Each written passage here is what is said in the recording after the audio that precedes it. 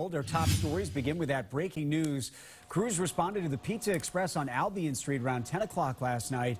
Firefighters got the flames under control, but our cameras captured extensive damage inside the building. We don't know if anyone was inside when the fire started, but we'll bring you more information just as soon as we get it.